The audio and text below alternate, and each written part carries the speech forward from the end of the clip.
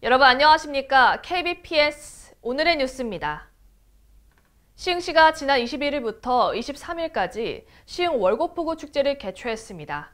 현장에서 최민아 아나운서가 직접 취재했습니다. 네, 저는 지금 시흥 월곡포구 축제 현장에 나와 있습니다. 오늘 개막식에는 정말 많은 시민들이 참석을 해주셨는데요. 자세한 현장 소식 함께 만나보시죠. 시흥시가 지난 21일에서 23일까지 월곶포구 미래탑공원과 해안가 일대에서 시흥 월곶포구 축제를 개최했습니다.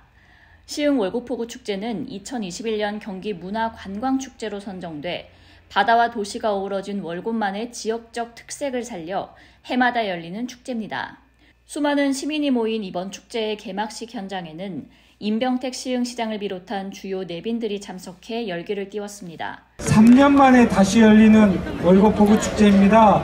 시민 여러분 코로나 이겨내시느라고 너무너무 애쓰셨고요. 이 축제 마음껏 즐기시고 내년은 더 성대할 것이고 내후년은 더, 더 아름다운 더 멋진 월곡포구 축제가 될 것입니다.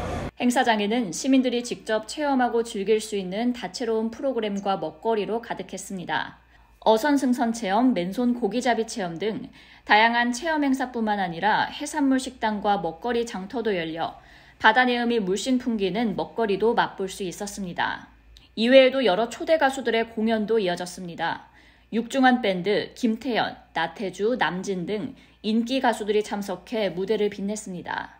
임병택 시흥시장은 시흥에서 월곶에서 산다는 자부심으로 즐거운 축제가 되길 바란다고 전했습니다.